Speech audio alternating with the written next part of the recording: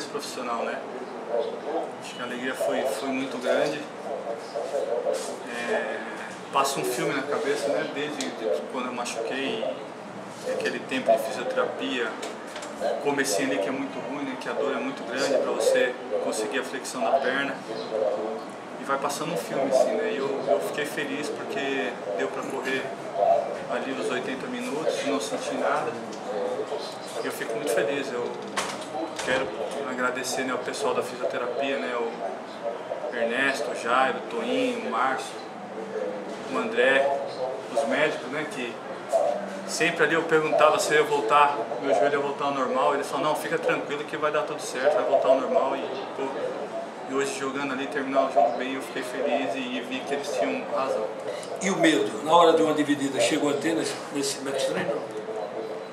Rapaz, medo eu não tive não, né? Porque eu fui no, no doutor, o doutor Romeu falou pra mim que eu já podia dividir, que estava firme, então eu falei, eu vou testar, né? Aí teve que testar, mas graças a Deus sim, eu glorifico a Deus porque entrei dentro de campo ali, quando eu comecei a correr eu esqueci que eu tive a lesão e isso aí foi importante. César, você foi regularizado agora, né? Você passou um tempo sem contrato, assinou teu novo contrato e agora, agora foi regularizado. É como se chegasse um novo César ao esporte, como se você estivesse entrando no clube de novo, mesmo sem ter saído? Olha, pelo tempo que eu fiquei parado, é praticamente isso, né? Porque nunca tinha trabalhado com a Soel, ele, tá, ele que está dando um aval, né? Se eu estou renovando é porque ele deu aval.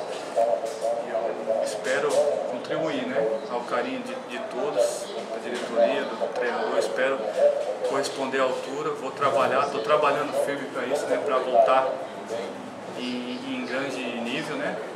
E, e ajudar o esporte a subir a primeira divisão.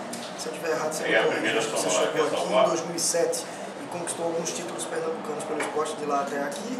E além desses títulos, a Copa do Brasil, que é um dos títulos mais importantes para o esporte. Falta ainda alguma coisa para o César? Qual o teu objetivo? Qual a tua busca agora nesse esporte? Olha, minha, meu principal objetivo esse ano, não só o meu, mas como do, do grupo inteiro, eu, sem dúvida, é, é levar o esporte à primeira divisão. Acho que é um lugar onde o esporte merece estar, é um lugar onde o esporte tem que estar, porque o esporte é uma grande equipe e não merecia ter saído. E eu espero esse ano aqui, com a ajuda de todos aí, né, trabalhar firme, lutar e conseguir esse acesso que vai ser, acho que um dos maiores sonhos meus aqui no esporte.